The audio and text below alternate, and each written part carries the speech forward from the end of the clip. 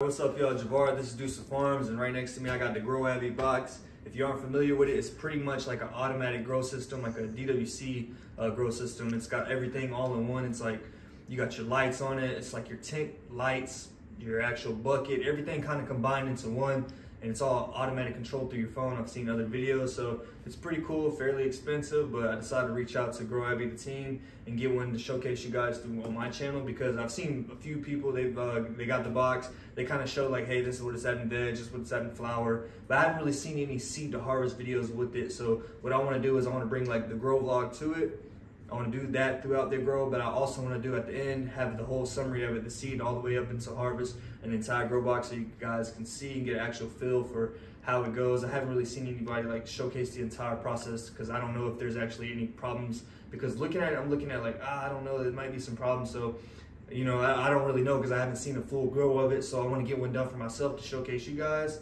Um, right now, other than this, we're in a new setup as you can see. Got a lot of stuff going on. Got the pool table behind me. Got another automatic system we're gonna go. my first irrigation system that I'm setting up, trying to automate it. Um, be honest, it's been a lot of work cutting and uh, doing a lot of stuff with the line over there, but we got that coming. Got the grow tables, they're on the way here. Getting out of the tents for flowers, so it's got a lot of stuff that's gonna be coming soon. But for right now, I just wanna go ahead and get this set up for you. I'm gonna be growing for clones, so you guys are gonna see the entire process of this, all the way from clone to harvest. So without further ado, let's go ahead and open it. All right, so we just got it. One thing about it, this thing did not come with a power cord, but I did have something that could fit it. Um, I don't know if they don't come with it in general or this one just happens to not have it in there, but luckily I had another one somewhere that could fit it. It's pretty much just like an extension cord that can plug in. You just need the female end to plug into the male end. But we're gonna go ahead and get it started. Boom, turn it on. Go ahead and show that right there so you see the Abby logo. You just twist it, unlock it, and Voila. boom. Just like that.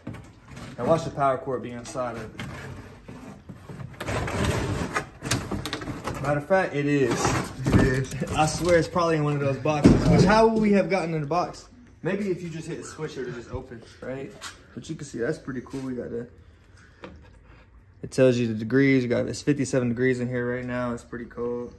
All right, so my bad, I take that back. The power cord was actually inside of it, which I'm assuming if I looked through the directions, it would have told me how to open it without power, without the automation. I'm pretty sure probably just had to pop a button somewhere. I didn't know that. But safe to say we do got the power cord, so don't have to worry about that. Also, got to put the legs on.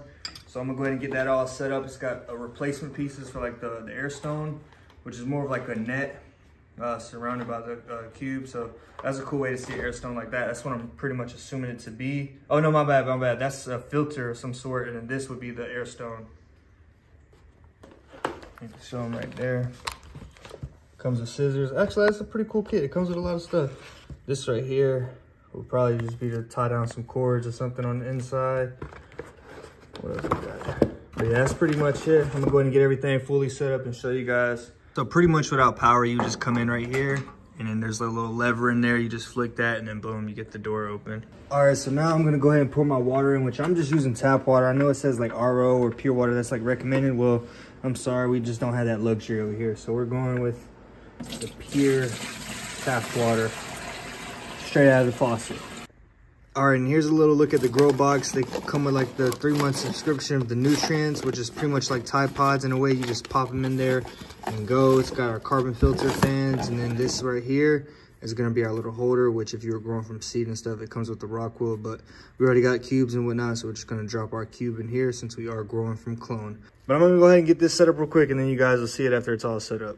All right, and now we're all set up. We got our water in there. We got the air stones are in there. It's also a filter, whatever. The air stones pump is all in there. We got our nutrients, which is just gonna drop in there as soon as we hit the green light. And then boom, we got our lights with carbon filter fans up there.